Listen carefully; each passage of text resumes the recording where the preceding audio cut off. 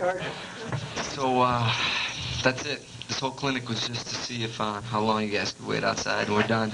Any questions about that whole uh, that whole ordeal? Uh, uh, what I'm doing here is uh, uh, I just figured it out a little while ago why, why I'm here is I'm doing this clinic, and um, that wasn't funny, man. And uh, and, kidding.